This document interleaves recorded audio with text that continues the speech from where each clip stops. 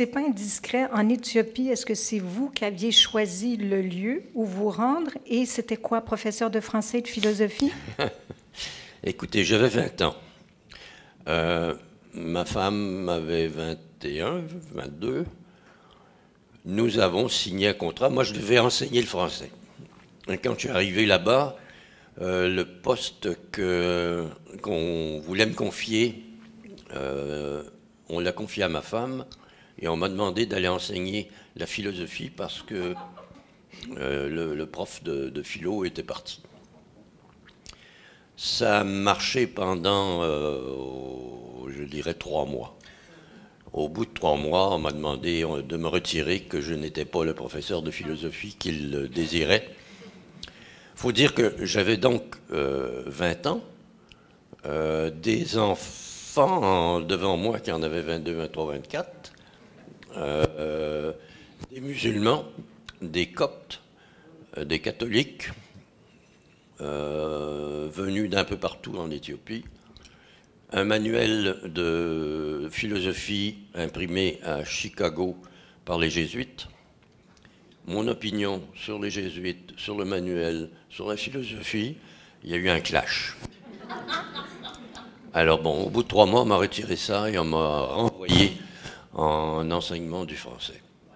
Je comprends pas pourquoi. Moi non plus. Mais ça n'avait pas beaucoup d'importance parce que finalement, j'ai découvert à cette occasion que j'étais le pire professeur qu'il pouvait avoir, étant incapable de me répéter suffisamment pour convaincre les gens. Un bon professeur a la patience qu'il faut pour euh, enseigner.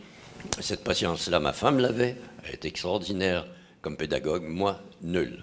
Il y a plusieurs professeurs dans la salle. Est-ce que vous êtes d'accord avec ce que M. Godbout vient de dire? Oui? D'accord. Bon, peu importe, là, vous avez commencé comme professeur, vous avez été écrivain, ils ont été témoins de vos succès? Oh, bon, écoutez, je ne sais pas vraiment. Je sais qu'ils étaient très contents de ce que je faisais, tout en étant vraiment anxieux quand ils m'ont vu partir à 20 ans en Afrique. À l'époque, l'Afrique, c'est encore euh, le bout du monde. Je pense que la majorité des Canadiens français connaissaient de l'Afrique la, bande dessinée de Tarzan et ça s'arrêtait là. Euh, ils étaient très anxieux que je me marie à 20 ans. Euh, mon père était agronome. Il m'avait, il m'avait introduit d'abord au Québec. À 10 ans, il m'avait mis à bord de sa voiture. On était partis ensemble faire le tour du Québec pour qu'il me présente tous les godebous euh, de la famille. Alors, ça m'avait donné une espèce de base euh, canadienne-française, si vous voulez. Alors j'avais rencontré des notaires, des, euh, des cultivateurs, des gens qui étaient propriétaires d'un motel, un autre qui était maire d'une paroisse, d'une petite municipalité, etc. Mais j'avais et des gens de mon âge. Alors j'avais découvert un monde. Et ce monde-là, il, est réapparu en partie dans mes livres. Mon père était très content, euh, très heureux. C'était un scientifique déçu que la science ne m'intéresse pas. Ma mère était d'une patience angélique, comme la plupart des mères de l'époque. Euh, elle était fille d'hôtelier. L'hôtel de ses parents était passé au feu euh, quand euh, bon, elle était mariée quand c'est arrivé. Ses parents sont venus vivre chez nous.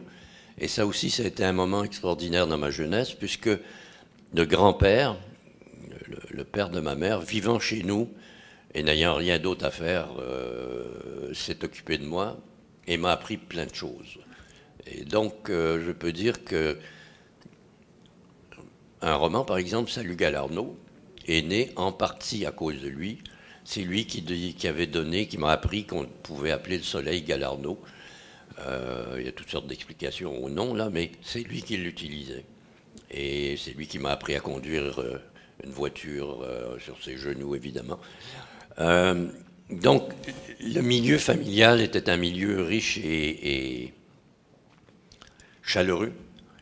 Euh, tout ce que j'ai fait par la suite les ravissait. Je, suis désolé de dire, là, j'aurais aimé ça qu'ils soient déçus peut-être, mais pas du tout.